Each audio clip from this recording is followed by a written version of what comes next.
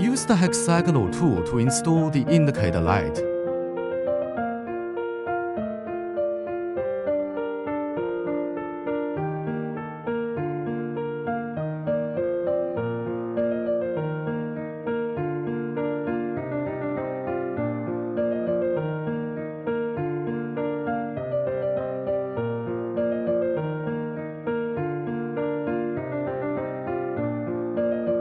Install a water filter.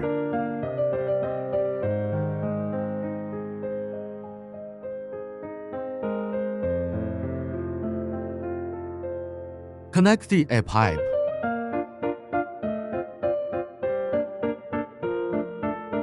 Assemble the gun head bracket.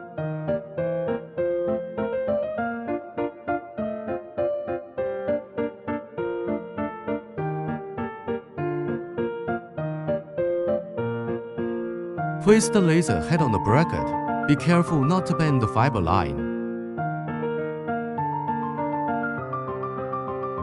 Connect the air pipe to the water filter valve and connect the equipment to the gas. Connect the device to 220 volts AC. Turn on the laser switch. Enter the device parameter interface. Enter password 6.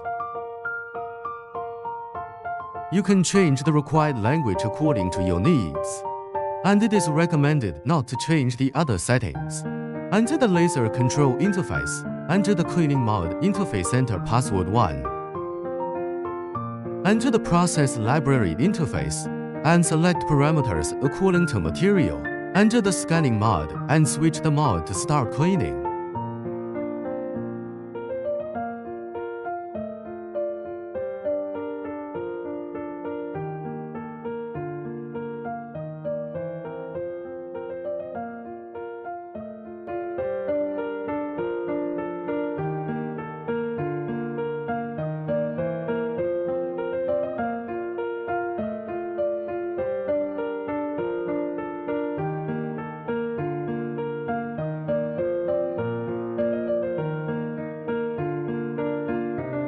Enter the custom process library. Select the swing type you want.